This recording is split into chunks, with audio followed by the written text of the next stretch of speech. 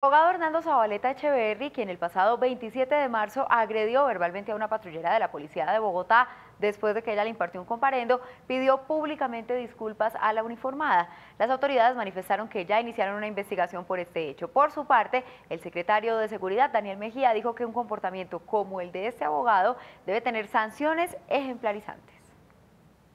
Eh, pues mi reacción no fue una reacción eh, adecuada fue una indelicadeza que reconozco y pues salgo a pedirle excusas públicas no solo a la patrullera sino al país. De esta forma, este hombre se pronunció frente a la agresión verbal que tuvo contra una patrullera mientras le realizaba un parte por estar estacionado en vía pública. Bueno, a mí no me importa.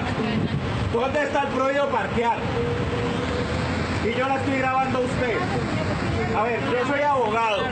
Aquí no hay prohibido parquear. ¿Ah? Grave, usted es una abusiva, resentida. Ah. ¡Atrevido! No, las atrevidas son ellas. Tienen el negocito de ponernos parte. Ah. Sí, sí, sí, sí, en mi casa hay dos y son decentes. Hecho ocurrió en la 150 con 19 en el sector de Cedritos. Según el agresor estaba esperando a su mamá, quien se encontraba haciendo una vuelta en el sector. Y estoy esperando a mi mamá, que es una funcionaria pública de la Contraloría General de la República, pero esta señora está abusando. Este hombre, después de maltratar a la patrullera, también la amenazó, manifestándole que le abrirían un oficio para investigarla. La voy a hacer echar y ni siquiera las empresas de seguridad va a conseguir trabajo. ¿Me escuchó?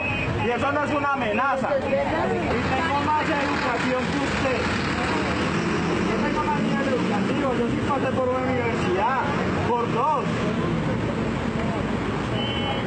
Y soy el abogado del Contralor General. Zabaleta dijo que está dispuesto a ir a la fiscalía. Yo he sido enfático y lo he hecho en todos los medios de comunicación, pues he presentado mis excusas públicas.